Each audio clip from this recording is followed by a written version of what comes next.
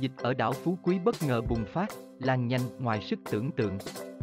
Theo báo cáo ngày 13 tháng 11 của Ủy ban Nhân dân huyện đảo Phú Quý, tỉnh Bình Thuận, tình hình dịch Covid-19 vừa bùng phát, lây lan nhanh. Cụ thể, ngay khi phát hiện 3 ca mắc Covid-19 đầu tiên vào ngày 12 tháng 11, địa phương đã truy vết và phong tỏa khu vực Gò Mây, thuộc thôn Triều Dương, xã Tam Thanh. Địa phương triển khai truy vết nguyên đêm 12 đến rạng sáng ngày 13 tháng 11 thì phát hiện thêm 38 ca nghi mắc mới. Tất cả các trường hợp nghi mắc này đều ở thôn Triều Dương. Ban đầu, địa phương phát hiện những ca mắc đầu tiên ở khu vực Gò Mây. Nhưng khi truy vết thì phát hiện một ổ dịch khác ở một cơ sở sửa chữa tàu thuyền thuộc thôn Triều Dương. Đến chiều ngày 13 tháng 11, dịch đã lây lan sang các xã khác ở đảo, trong đó có cả thầy cô giáo và học sinh. Ngay từ đầu, Ủy ban Nhân dân huyện đảo Phú Quý xác định là địa bàn nhỏ. Xã hội mang tính cộng đồng, người dân thường xuyên tiếp xúc qua lại, nên nguy cơ lây nhiễm rất cao. Trong khi đó, điều kiện y tế của huyện đảo còn nhiều khó khăn cả về nhân lực lẫn cơ sở vật chất. Toàn huyện đảo Phú Quý hiện chỉ có 94 cán bộ y tế chuyên môn. Tất cả đã phân về các khu điều trị, truy vết, tổ xét nghiệm nên không còn cán bộ chuyên môn. Địa phương cho rằng dịch bùng phát bất ngờ, ngoài sức tưởng tượng, lây lan nhanh, diễn biến phức tạp.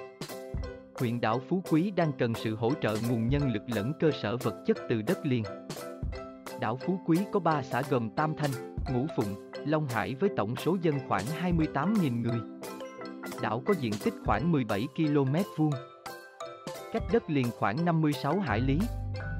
Trưa ngày 13 tháng 11, một lãnh đạo Ủy ban Nhân dân huyện Phú Quý, tỉnh Bình Thuận cho biết qua test nhanh sàng lọc cộng đồng đã phát hiện thêm gần 40 ca nghi mắc Covid-19 mới tại đảo. Hiện đảo Phú Quý đã thực hiện giãn cách xã hội theo cấp độ dịch là vùng đỏ, lập các chốt kiểm soát người dân đi lại và phong tỏa những nơi nguy cơ rất cao. Khi có kết quả test nhanh dương tính tại đảo, địa phương sẽ đưa các mẫu này vào đất liền để xét nghiệm khẳng định lại bằng phương pháp PCR. Do các tàu cao tốc đã dừng hoạt động nên địa phương phải tận dụng ghe cá ngư dân và tàu vận tải hàng hóa đưa mẫu vào đất liền.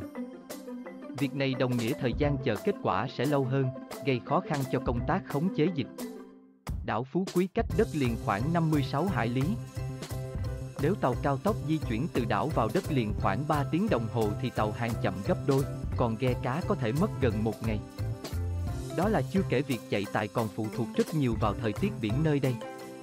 Ông Lê Văn Hồng, Phó Giám đốc Sở Y tế tỉnh Bình Thuận, cho biết ngay khi tiếp nhận các mẫu từ đảo đưa vào đất liền, Sở ưu tiên làm trước để công tác phòng chống dịch được triển khai nhanh nhất.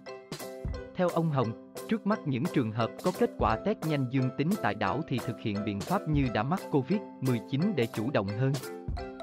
Khi có kết quả PCR từ đất liền thì địa phương sẽ sàng lọc lại. Hiện Sở Y tế Bình Thuận đang lập tổ công tác ra đảo Phú Quý hỗ trợ việc lấy mẫu và điều trị F0. Ông Hồng khẳng định nguyên nhân bùng phát dịch tại địa phương thời gian qua là một bộ phận người dân còn chủ quan, lơ là sau khi đã tiêm vaccine. Khi tiêm vaccine xong, họ đi giao lưu, thăm người thân nhưng không thực hiện nghiêm nguyên tắc 5K. Từ đó, các ổ dịch phát hiện lây từ trong gia đình với nhau rất nhanh, ông Hồng cho biết. Theo thông báo của Sở Y tế tỉnh Bình Thuận vào trưa cùng ngày, địa phương ghi nhận 265 ca nghi mắc COVID-19, phần lớn tập trung ở thành phố Phan Thiết.